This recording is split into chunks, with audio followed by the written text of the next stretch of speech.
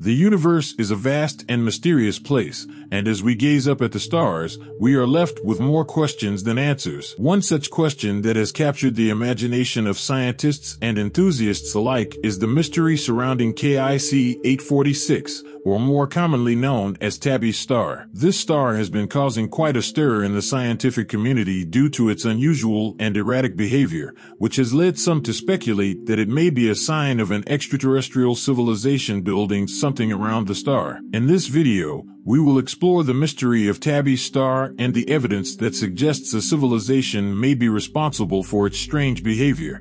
Tabby's star was first discovered in 2015 by astronomer Tabitha Boyajian and her team, who were using data collected by NASA's Kepler telescope. They noticed that the star's brightness was fluctuating in a strange and irregular pattern, unlike anything they had seen before. Further analysis revealed that the star's brightness was dimming by up to 22%, which is a significant amount considering that most stars only fluctuate by 1% or less. Tabby's star, officially known as KIC 846 2852 is located in the Cygnus constellation, about 1,280 light years away from Earth. The fluctuations in brightness caught the attention of astronomers because they were unlike any natural phenomena that had been observed before. Typically, when a planet passes in front of a star, the star's brightness dims by a small amount, which is a regular and predictable pattern. However, the fluctuations seen in Tabby's star were much larger, and the pattern was irregular and inconsistent. Initially, astronomers thought that there might be some instrumental or data processing error, but the pattern persisted even after extensive analysis. This led to a hypothesis that there might be something orbiting the star, blocking its light, but this explanation also fell short since the pattern did not fit any natural object or phenomena. The discovery of Tabby's star quickly gained attention in the media and among the scientific community, prompting further observations and investigations to uncover the cause of its unusual behavior. Since the discovery of Tabby's star, scientists have been working hard to explain its unusual behavior. One theory is that the star is surrounded by a cloud of dust and debris, which is causing the dimming. Another theory is that the star is being orbited by a large planet with an irregular orbit that is blocking some of the star's light. While the theories of a dust cloud or large planet orbiting Tabby's star were initially considered plausible, they have been mostly ruled out as possible explanations for the star's behavior. One of the main issues with the dust cloud theory is that it would not cause such a significant and irregular dimming pattern. Dust clouds would typically cause a gradual and steady dimming of a star's brightness, while Tabby's star star has shown sudden and unpredictable drops in brightness. The theory of a large planet orbiting Tabby's star also has its challenges. First, a planet would not be large enough to cause such a significant dimming of the star's brightness. Second, the dimming pattern observed would suggest an irregular orbit that is not consistent with the laws of planetary motion. Other natural explanations that have been proposed include the possibility of a swarm of comets passing in front of the star, or a disk of gas and dust that is obscuring its light. However, both of these theories also face difficulties in explaining the precise and irregular dimming patterns of Tabby's star. The Kardashev scale is a way of categorizing civilizations based on their level of technological advancement. It is named after Nikolai Kardashev, a Russian astrophysicist who first proposed the concept in 1964. The scale is based on the amount of energy a civilization is able to harness and use. The scale is divided into three main categories, each representing a higher level of energy consumption and technological sophistication. The first category is a Type 1 civilization, which is capable of harnessing all the energy available on its home planet. This includes using renewable energy sources like wind, solar, and geothermal power, as well as tapping into the planet's core for geothermal energy. A Type 1 civilization would also have the ability to control natural disasters such as earthquakes and hurricanes,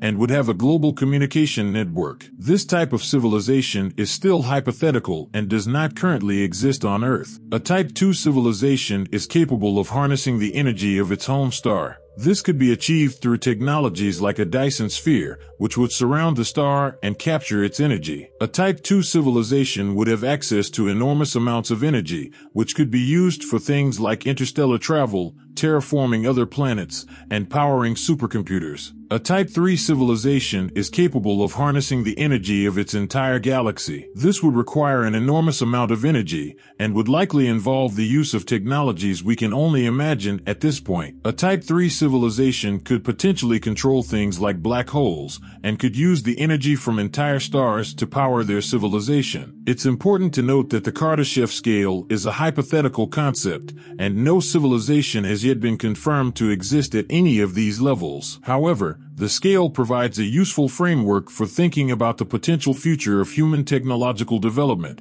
and the potential for other advanced civilizations to exist elsewhere in the universe. Given Tabby's star's unusual behavior and the failure to find a natural explanation for it, some scientists have begun to speculate that it may be a sign of an extraterrestrial civilization, specifically, a civilization that is building a megastructure or Dyson sphere around the star to harness its energy. While this may seem like like science fiction, it is not entirely impossible, especially if we consider the Kardashev scale and the potential for advanced civilizations to harness energy on a massive scale. The idea that Tabby Star could be the site of an extraterrestrial civilization is based on the possibility that a civilization could use the star's energy to power their technological needs. As previously mentioned, the Kardashev scale proposes that advanced civilizations are capable of harnessing energy on a massive scale, which includes the construction of megastructures or Dyson spheres. A Dyson sphere is a theoretical megastructure that would completely surround a star, allowing a civilization to capture all of its energy output. While the idea of a Dyson sphere may sound like science fiction, it is actually based on solid physics and engineering principles. In fact, Scientists have already proposed a number of designs for building a Dyson sphere,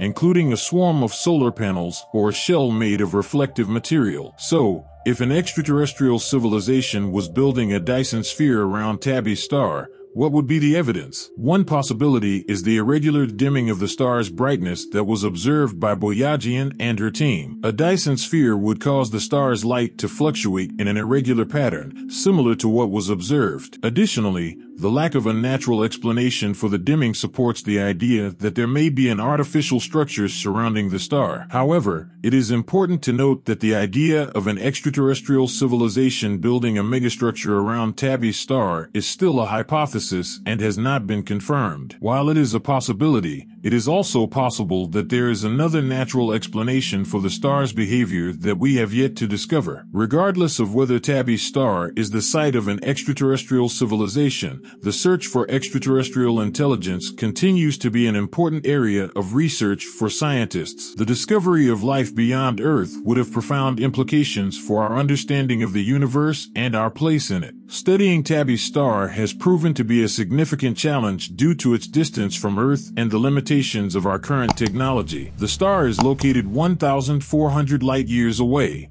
which means that the light fluctuations we are currently observing are almost 1,500 years old. Additionally, the Kepler telescope, which was used to observe the star, has since been retired due to technical difficulties. Thanks for watching. If you found this video informative and interesting, please hit the like button and consider subscribing to our channel for more mind-blowing content like this. Your support means a lot to us and it motivates us to keep creating more amazing videos for you. So, don't forget to hit that notification bell as well to stay updated on our latest uploads. Thank you again for your time and we'll see you in the next video.